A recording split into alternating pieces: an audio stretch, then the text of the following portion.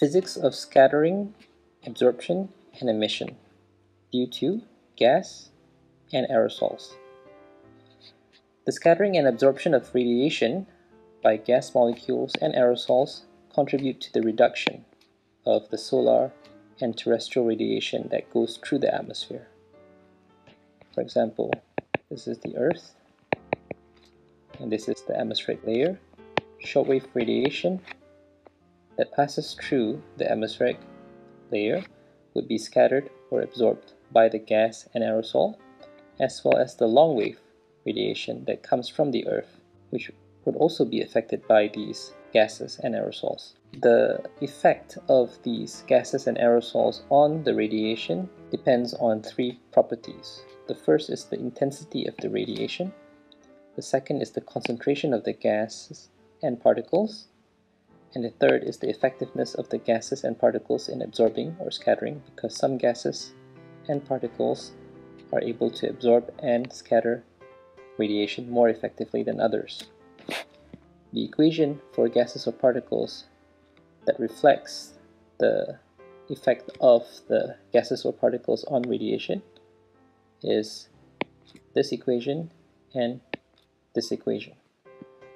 For gases or particles, the reduction in radiation is equals to the intensity of radiation multiplied by k lambda, which is the scattering or absorption efficiency of the gas or particle, times n, which is the number of particles per unit volume of air, which is synonymous with concentration, times sigma, which is the aerial cross-section of each particle, or the size of the particle multiplied by ds, which is just the length that the radiation has to pass through.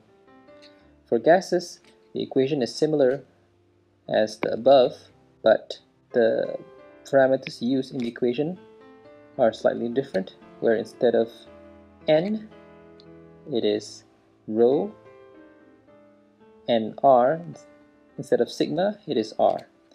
So for rho, it is the density of air, and for R, it is the mass of the gas per unit mass of air.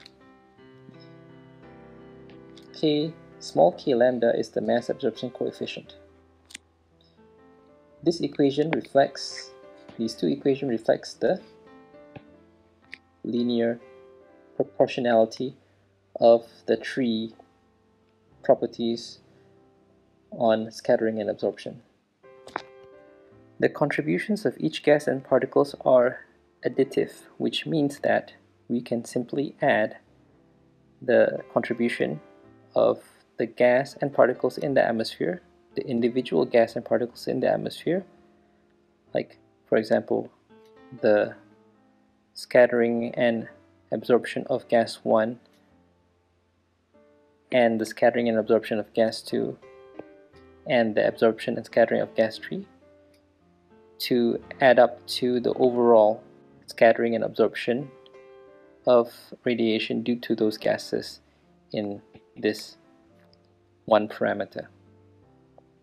Aside from that, we can also add in the scattering and absorption due to just the scattering separately and the absorption separately to become the overall parameter k lambda extinction, which simplifies the process of accounting for the gases and particles in the atmosphere on the reduction of solar radiation and terrestrial radiation in the atmosphere. Now we look into the scattering phenomenon in the atmosphere due to gases and particles. In the figure on the left, we see the y-axis is the size of the gas and particles, while the x-axis is the wavelength of the radiation or light.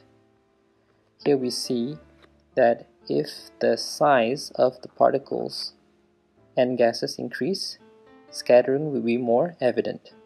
And this occurs concurrently with the wavelength. For example, if a molecule air molecule is of this size and the light is of this wavelength, then there is negligible scattering. For the same wavelength, But with a bigger molecule, there will be considerable scattering. That means that scattering depends on two parameters, the wavelength and the size.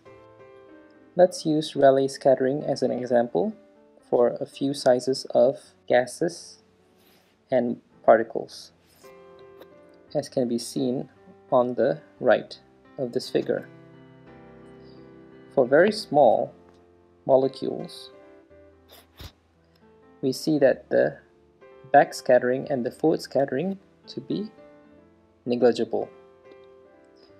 But as the size increase at to 0.1 micrometer, we see that there is more forward scattering then back scattering, which causes the general scattering in the atmosphere. And for much larger molecules or particles, then we see a considerable forward scattering with respect to the back scattering, which causes a general considerable scattering of the radiation. In the previous slide, we see the effect of wavelength and radius of gas on scattering, but we don't look at the absorption capability of those gases and its effect on scattering. Now, if a gas has no absorption capabilities, then it will scatter the radiation efficiently as compared to gases with more absorption capabilities. For example, for Mi equals to 0, we see that the scattering efficiency of that gas would be high and low and it oscillates to a mean of 2. And it would change quite rapidly in the size parameter small in the small range of the size parameter and it dampens in the larger part of the size parameter range.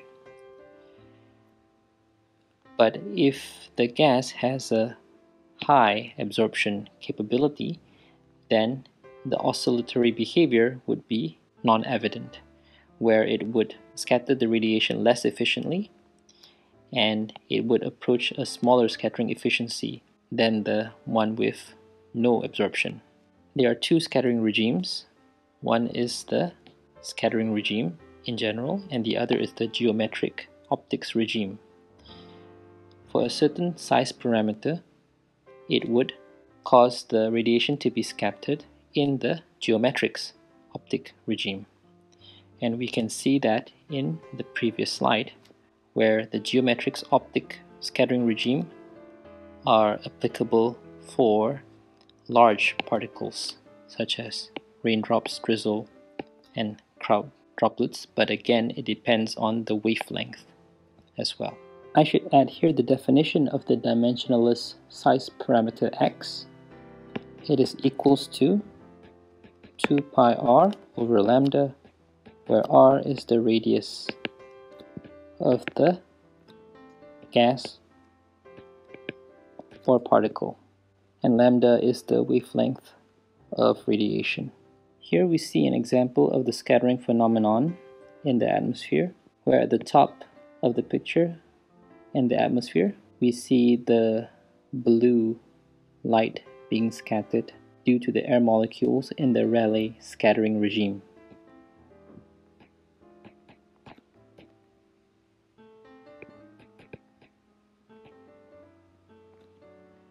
At the bottom here we see scattering done by bigger particles like aerosols which scatters the radiation even more. As was seen in the previous slide, we know that absorption affects scattering. It affects scattering by damping the oscillatory behavior in the Mie region or the Mie scattering regime. At very large sizes of the dimensionless size parameter x of more than 1, k approaches 2.